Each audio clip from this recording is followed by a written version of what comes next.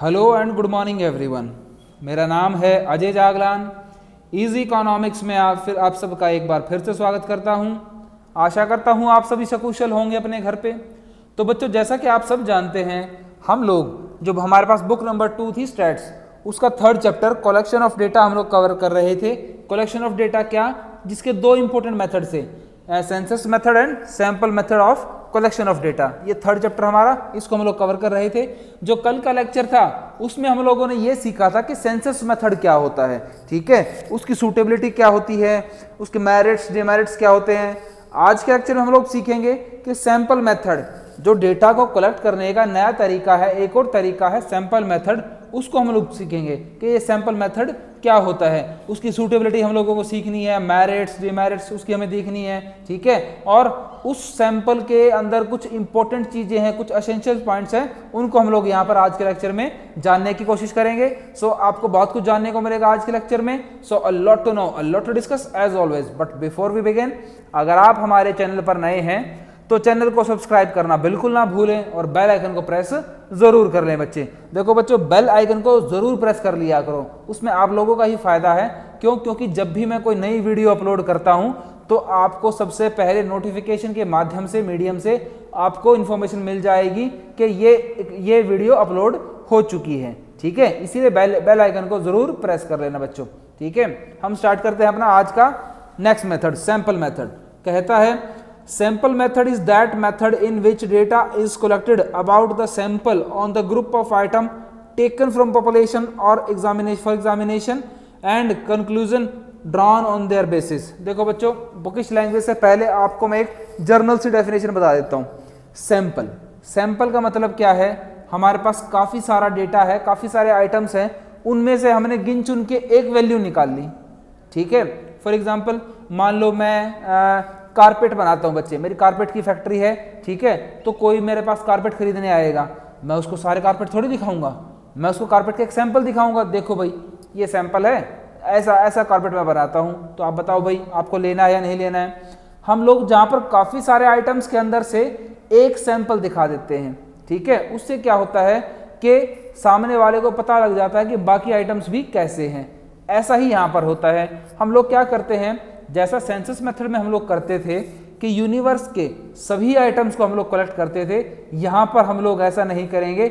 यहाँ पर काफ़ी सारे सिमिलर आइटम्स में से एक सैंपल उठा लेंगे, ठीक है, और उसको रिकॉर्ड कर लेंगे और बाकी सबको उसके इक्वलेंट मान लेंगे कि हाँ बाकी सब भी उसके बराबर ही होते हैं, ठीक है। और इसी में से जो एग्जामिनेशन हम लोगों को करना है कंक्लूजन निकालने हैं, वो सब हम लोग यहाँ से इस सैंपल की हेल्प से कर लेते हैं, ठीक है? तो ये सैंपल मेथड की बेसिक सी डेफिनेशन थी भाई, ठीक है? और हम इस सैंपल मेथड को डे टू डे लाइफ में भी इस्तेमाल करते हैं बच्चे। आप किचन में जाएँगे, आप लोग क्या करेंगे बच्चे? जितने भी अनाज हैं, अनाज के दाने हैं, आप लोग अनाज लेने चले गए। बोरी में अनाज होते हैं, बहुत सारे बहुत सारे दाने होते हैं। क्या आप हर एक दाने को निकाल के चेक करते हैं? नहीं। आप थोड़े से मुट्ठी में निकालेंगे चेक कर लेंगे हाँ भाई ऐसा अनाज है, ऐसे दाने हैं, ऐसे ग्रेन्स हैं तो आप पूरी बोरी खरीद लेते हैं, अच्छी लगी तो। ठीक है? तो ये उसका एक परफेक्ट एग्ज़ाम्पल था। अब इसकी सूटेबिलिटी भी है कि ये मेथड सैंपल मेथड कहाँ कहाँ सूटेबल होता है? कहाँ कहाँ इसको इस्तेमाल करना चाहिए? ठीक है? सबसे पहले the size of population is very large जहाँ पर पॉपुलेशन का साइज़ बहुत बड़ा हो, ठीक है? दूसरा very high degree of accuracy is not needed जहाँ पर हमें कि डेटा बहुत ज़्यादा एक्यूरेट हो, इसकी कोई खास ज़रूरत नहीं होती, ठीक है? साइड थर्ड पॉइंट में कहता है intensive examination of diverse item is not required जहाँ पर हमें अलग अलग आइटम्स की परफेक्ट नॉलेज हो या डाइवर्स नॉलेज हो, वो भी ज़रूरी ना हो। और फोर्थ पॉइंट में कहता है when different unit of universe are broadly similar to each other जब यूनिवर्स के सभी आइटम्स एक दूसरे के क्या हो? सिमिलर हो। तो यहाँ पर सैंपल मेथड का हम लोग इस्तेमाल कर सकते हैं बच्चे, ठीक है? अब हम लोग देखते हैं कि उसकी मेरिट्स क्या है, उसमें क्या क्या फ़ायदे हैं भाई। ठीक है भाई? सबसे पहले इकोनॉमिकल देखो, जहाँ पर हम लोग सारा डेटा कलेक्ट ना करके एक सैंपल कलेक्ट कर लेते हैं मतलब टाइम कम लगेगा, खर्चा कम लगेगा, ठीक है? तो मतलब क्या है वो? इकोनॉमिकल है। इकोनॉमिकल का मतलब होता है कि भाई, ज़्यादा खर्चा ना लगे। टाइम कंज्यूम करे मनी को सेव करे, जहाँ पर सेविंग्स हो, ठीक है? सेकंड पॉइंट में कहता है टाइमिंग टाइम सेविंग देखो टाइम तो बचेगा ही। या तो हमें 100 आइटम्स को कलेक्ट करना है, या हमें सौ आइटम्स में से जो एक, जैसे उनमें से एक आइटम कलेक्ट करना है। टाइम कम कहाँ लगेगा? जहाँ पर हमें एक कलेक्ट करना पड़ेगा। थर्ड में कहता है आइडेंटिफिकेशन ऑफ़ एरर कि जहाँ पर हम लोग एक आइटम कलेक्ट करते हैं तो उसके बिहाव पे हम लोग एरर्स को आसानी से पकड़ सकते हैं। ठीक है? कहता है because only a limited number of items are covered error can be easily identified क्योंकि हम लोग बहुत थोड़े आइटम कवर कर रहे हैं। ठीक है? मान लो हमारे पास टोटल हज़ार यूनिट्स हैं, सौ एक जैसी, सौ एक जैसी, सौ एक जैसी तो मेरे पास टोटल दस यूनिट कलेक्ट होगी, ठीक है? क्योंकि उनमें से सब सौ सौ एक जैसी ही हैं। तो मेरे को या तो हज़ार में से कोई गलती निकालनी, या दस में से कोई गलती निकालनी, कौन सी आसान होगी? जहाँ पर थोड़े आइटम्स होंगे, ठीक है? फोर्थ पॉइंट में कहता है लार्ज इन्वेस्टिगेशन जहाँ पर बहुत लार्ज इन्वेस्टिगेशन हो, वहाँ पर सैंपल मेथड बहुत अच्छा मेथड रहता है चूज़ करना। आगे कहता है एडमिनिस्ट्रेटिव कन्वीनियंस के एडमिनिस्ट्रेटिव कन्वीनियंस के लिए ऑफिशियल कामकाज के लिए हम लोग सैंपल मेथड का इस्तेमाल करते हैं, क्योंकि जब भी हम कोई ऑफिशियल काम करेंगे तो वहाँ पर हम लोग सारे आइटम्स को शो नहीं करेंगे गिने चुने आइटम्स को ही शो करेंगे। ठीक है? सिक्स पॉइंट में कहता है मोर साइंटिफिक मोर साइंटिफिक का मतलब क्या है बच्चे?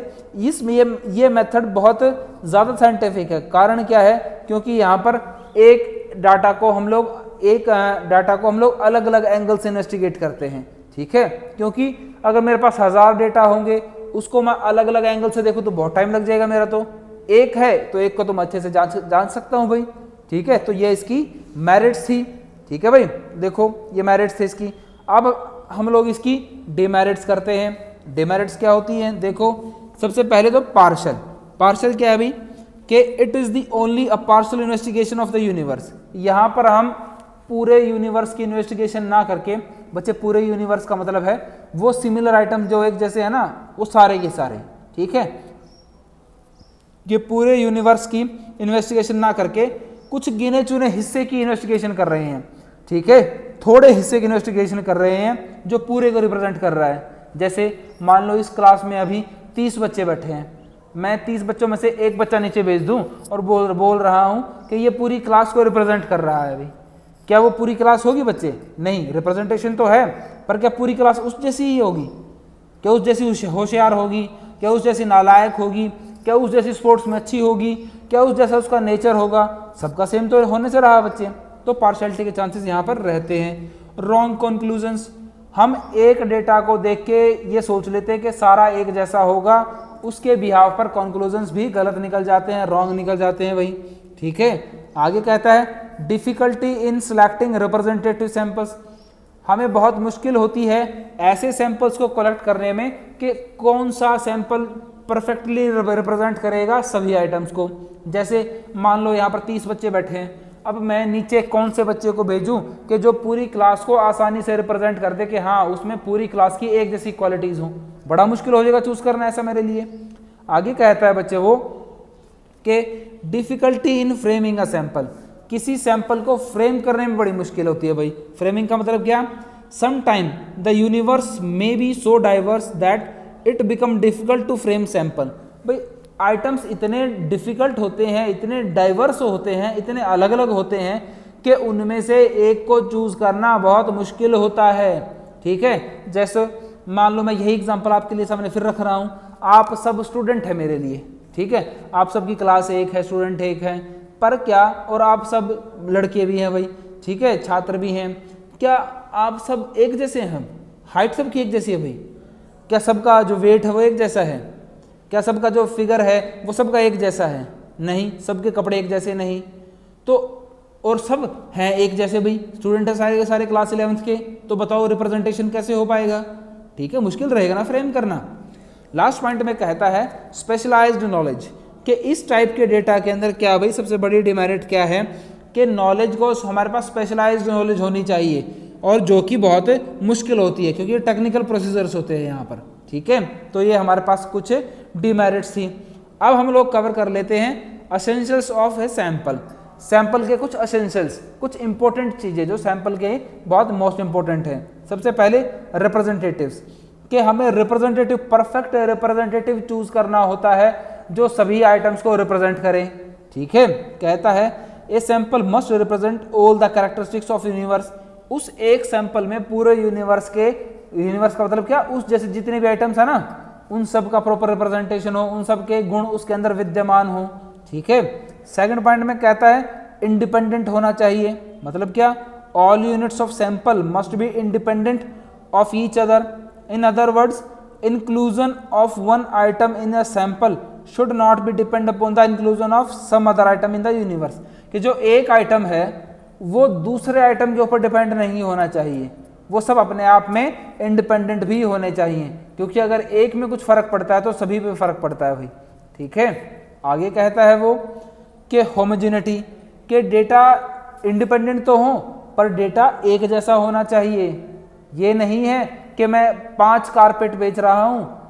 एक कारपेट भाई उसका है रेड कलर का, एक ब्लू कलर का, एक येलो कलर का, एक ऑरेंज कलर का।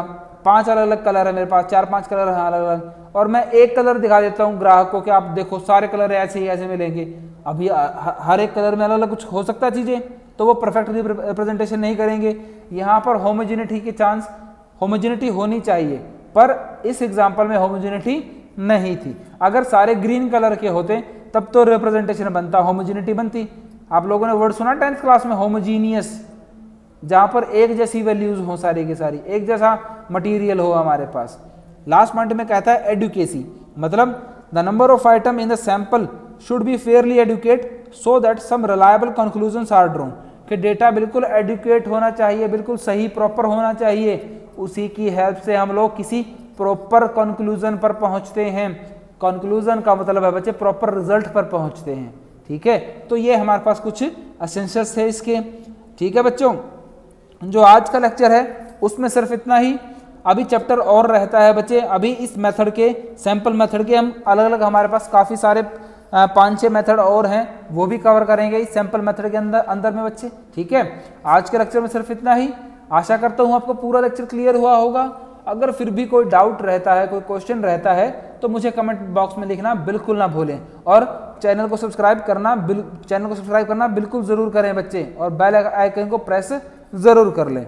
थैंक्स फॉर लिसनिंग एंड जय हिंद।